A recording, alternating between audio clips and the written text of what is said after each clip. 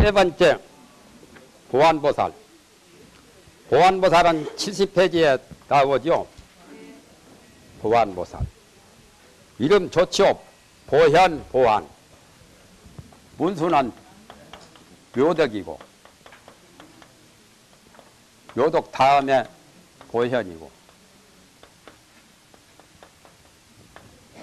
그 다음에 보안이죠. 이제. 두 분은 다 보자죠?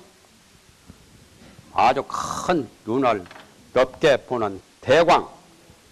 이 대학이 대광, 불교 대학이죠.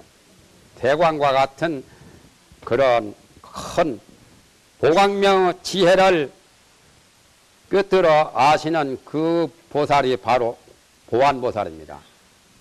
세간법이나 출세간법이나 현실세계나 진리의 세계를 모두 크게 두루 보시는 그러한 보살이 대표적인 보살이 보안보살이요. 보안보살은 절에 가보면 잘 안 보이죠. 관세음보살, 지장보살, 문수보살, 보현보살은 보이는데 다른 절에 보안보살 모신 데가 없잖아요. 해인사에는 있어. 해인사 대적광견에 가면은 보안보살이 계십니다.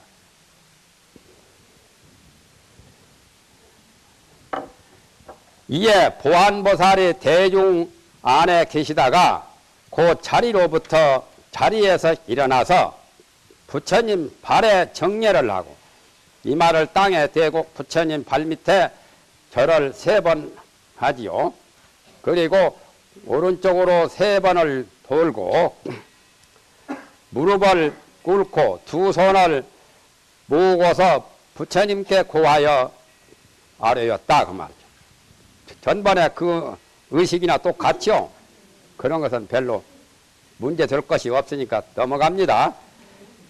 질문입니다. 이제 어떤 질문을 하냐면 대비하신 세존이시여 유대하신 세존이시여 그렇게 했지만은 대자 대비하신 세존이시여 세상에서는 제일 높으신 부처님이시여 원컨대 이 법회에 원각 회상 이 법회에 참석한 보살들을 위하여 위하시며 또한 발세의 모든 중생을 위해서 보살이 점차적으로 어, 수행하는 법을 가르쳐 주옵소서. 보살들이 성불하도록 수행을 하는 방법을 가르쳐 달라 말이죠. 점차적이라고 한 것은 단박에 되기가 좀 힘드니까 점차적으로 수행한다는 말을 하지요. 돈 수행도 나오지만은 점 수행도 나옵니다. 그러나 원각경은 어, 점차로 수행하는 법도 있기야 있지만은 그래도 주요 가장 목표가 돈수법이기 때문에 돈을 단박에 깨치고 단박에 닦는 그런 방법이 원각경에서 최고 대성법을 말하기 때문에 그런 차원에서 돈교라고 할 뿐이죠. 어떻게 사유해야 하고 어떻게 사유란 말은 어떻게 생각을 해야 되고 또 어떻게 머물러야 됩니까? 어디에 머물러야 합니까? 라고 했지만은 아까와 똑같이 어떻게 사유해야 하고 어떻게 머물러야 됩니까? 번역은 원칙은 그렇게 해야 돼. 똑같은 운하거든요. 규봉 스님은 운하 사유를 사해로 보았고 운하 주지를 수해로 보았었죠. 3회 가운데. 지혜를 보통 세 가지로 말합니다. 처음에는 문해가 되고 부처님 법문을 듣고 알아 들어가는 지혜를 문해라고 하고 그 다음에 가서 사해고 마지막이 수해다 말이에요.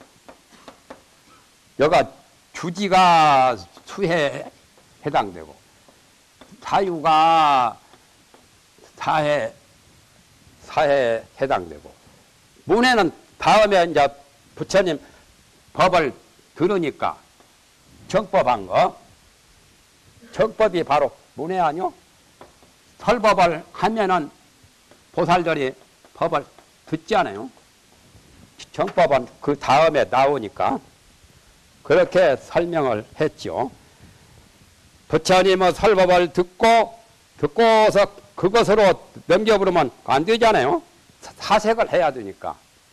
깊이 생각을 해서 진리를 꿰뚫어 알려고 사색하는 것이 사해라요. 사색하는 지혜. 수해라고 하는 것은 또 실천 수행을 해서 아는 것에만 그치는 게 아니라 지행 합일이 돼야 되죠. 지와 행이 하나가 돼야 되니까. 지행. 결국에는 알면은 행해야 되거든요. 지행 합일. 그러니까 사해는 지라면 수해는 수행, 행이다 말이에요. 그러니까 주지하는 것은 행을 의미한 거라고 그렇게 규봉선사는 그렇게 해석을 했습니다.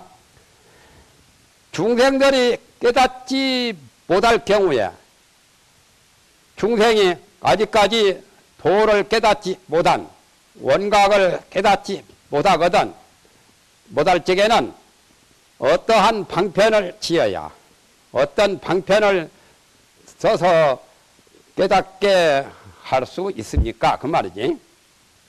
널리 하여금 깨닫게 하오리까. 그게 질문이죠, 지금. 여기는 질문치고는 좀 가, 간단하죠. 세존이시여. 그 다음 또 계속됩니다.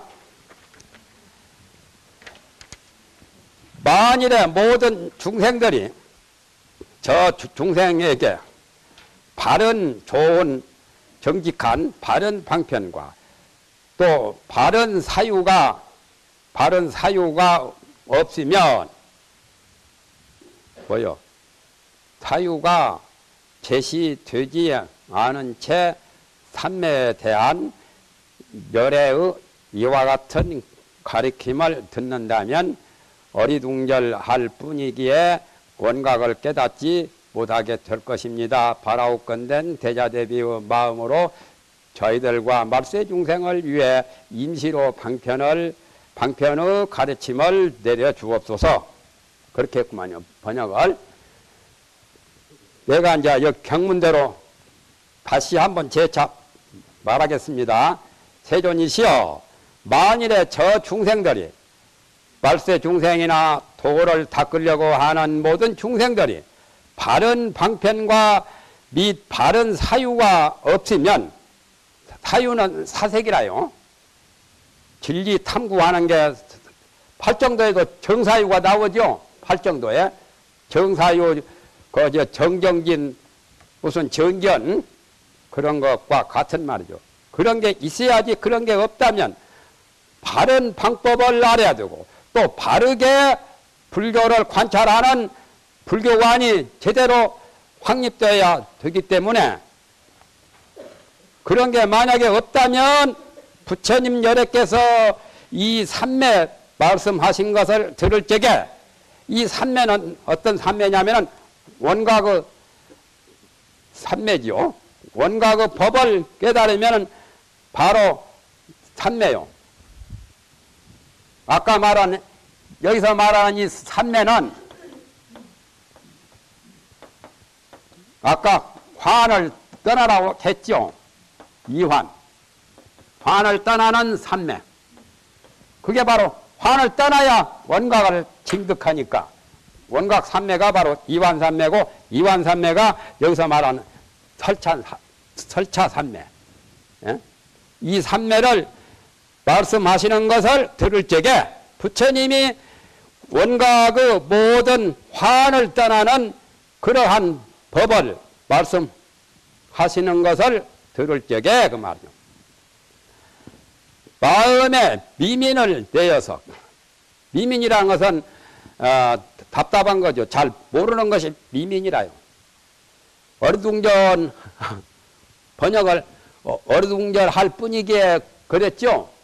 어르둥절 한 것은 모르니까 얼뱅이가 되는 거지 뭐. 이할 미자 답답할 민자 미라고 하는 것은 깨달으면 반대가 미요. 미호라고 하지요. 미호. 미는 범부들이고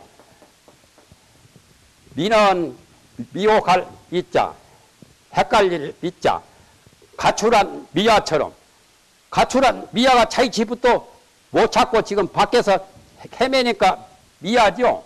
요 가출한 미야처럼 범부가 미고 깨달은 사람들은 성인이요. 오 반대가 미요. 나는 그래서 어려서 한문 한시를 지라해서 미국을 나는 이자로 썼다고. 미국 고얀 놈들이라고 말이야. 어?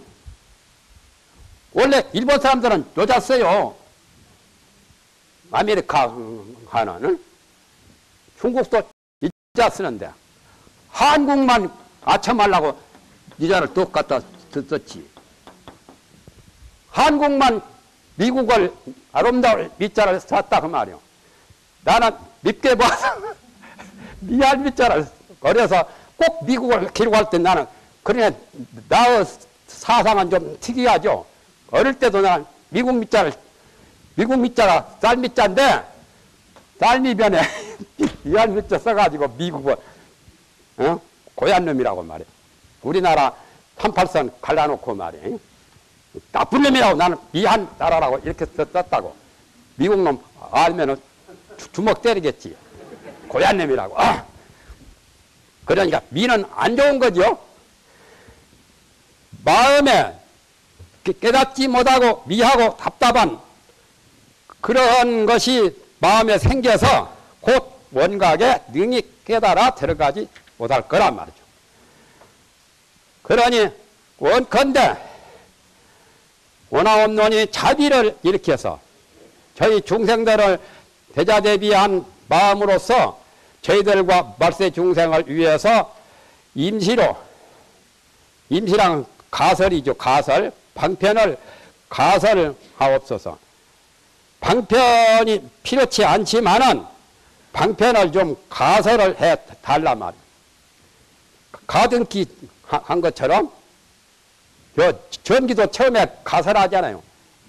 임시로 응급조치로 하는 가설처럼 원래 수행은 무소득으로 방편을 삼지요. 대집경, 대품경에서는 모든 육도 만행, 보살의 수행 법이 무소득으로 방편을 삼습니다. 얻는 바 없는 걸로 무소득으로 무소득이 가장 중요한 거죠. 무소득으로서 보살 수행이 무소득으로서 방편을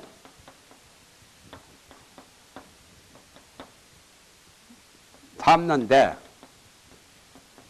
대품경 같은 데는 대품경이라고 대품 반야경이요. 대품 반야경이 있어요.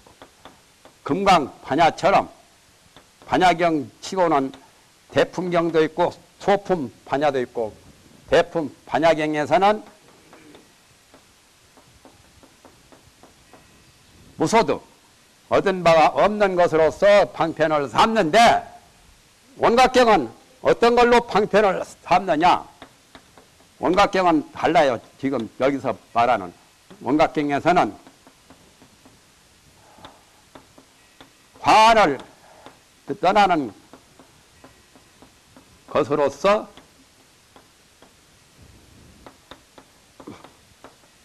방편을 삼는다.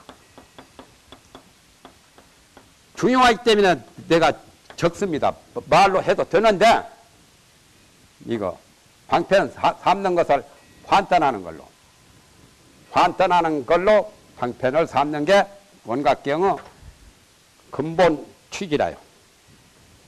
무소득보다는 환떠나는 게 더 좋다 이 말이에요.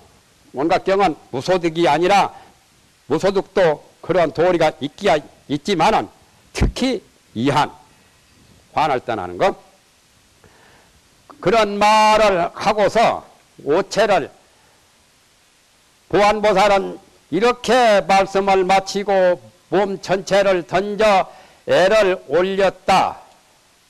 보안보살은 이와 같이 세 번이나 반복해서 거듭 말씀을 드렸다. 그 말이죠. 거기까지는 이제 끝났고, 질문은, 질문의 모든 형식은 거기서 끝났습니다. 그 다음에 75페이지에 그때 세존께서 보안보살에게 말씀을 하셨다. 훌륭하고 훌륭하도다. 선남자여. 그대들이 여러 보살과 말세 중생을 위해서 점차적으로 차츰차츰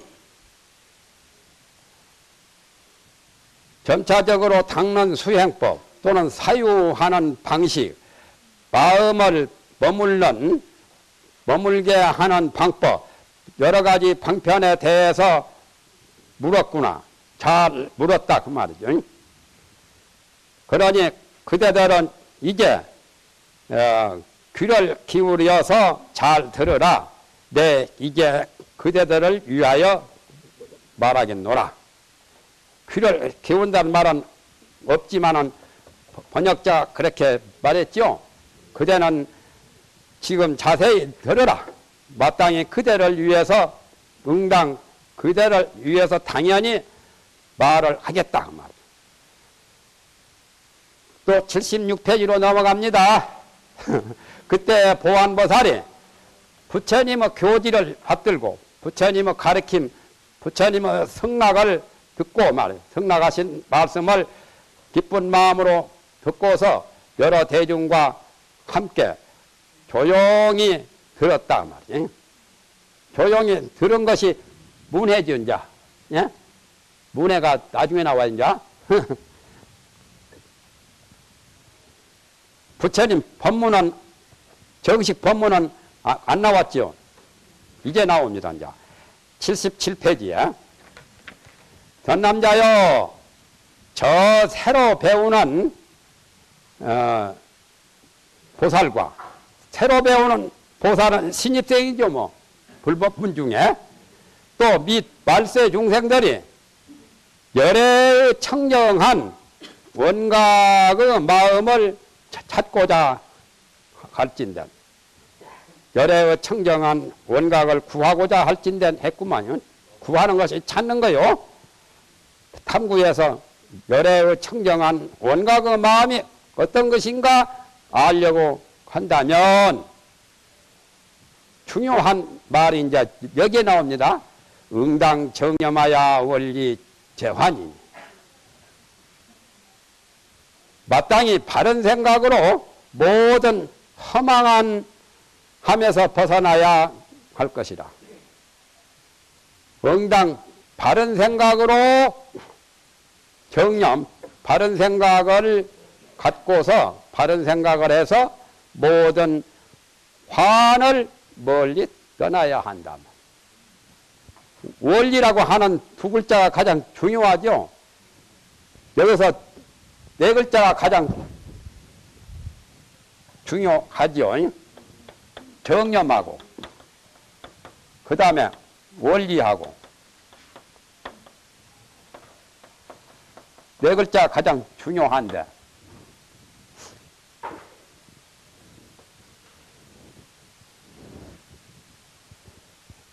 멀리 떠나라고 했죠.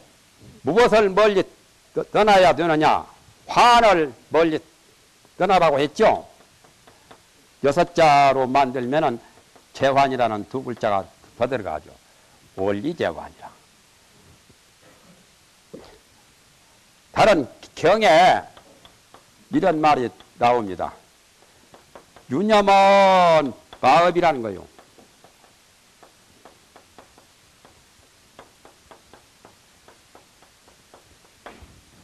생각이 있는 것은 온갖 잡념이 있으면 그건 마구니 업이라. 또 무념이 되면은 무념은 바로 법인이라는 거예요. 그게 불교 법인, 삼법인 같은 것, 인. 이 말씀은 어디에서 했냐면 지도론에 그런 말이 나와요. 용서보살 지도론에. 생각을 떠나버리면 잡념이 없는 게 바로 무념이 바로 정념이요. 생각 잡념이 많이 있으면 마군이 하는 짓이라 악마. 예? 그러니 불법 수행하기가 참 어렵죠. 생각을 어떻게 떠나냐 말이야. 생각 떠나는 공부가 참 어려운 거요. 나는 그래서 1차원은 잡념이고 2차원은 일념이고 3차원이 이제 무념이란 말. 여기는 잡념은 망념이라요. 망상이요. 망상이니까 이게 나쁜 거요. 이것만 나쁘고 이 두 가지는 좋아요. 요게 바로 정념이 준 뭐요. 일념이 바로 정념이라.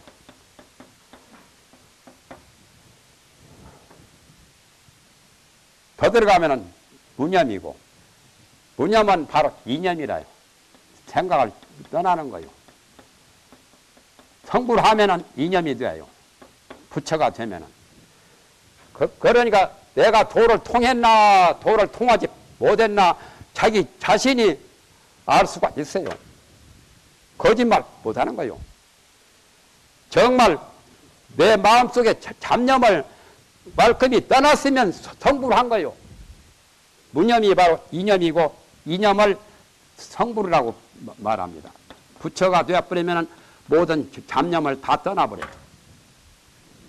그러니까 처음에는 잡념에서 잡념에서 출발을 해도 일념으로 공부를 해야 돼요. 그래가지고 무념이 되면은 성불 하는 거예요. 일념이 삼매 아니요. 정신 통일. 삼매를 거치지 않고는 힘들죠. 깊은 잠 들 때는 비슷한 삼매지. 예? 주운 삼매요. 그러니까 도를 닦을 때 잠 속에 들어가지 말고 잠 안 자면서도 깊은 잠에 든 것처럼 마음이 그렇게 되면은 돼. 그게 묘하죠. 거기서 이렇게 조금만 주파수만 바꿔놓으면 되는데 그 주파수를 바꿀 줄 몰라요. 깊은 잠처럼 생각을 허심탄회. 그래서 나는 늘 허심탄회를 강조합니다. 허심탄회는 웬만하면 노력하면 되지 않아요? 허심탄회.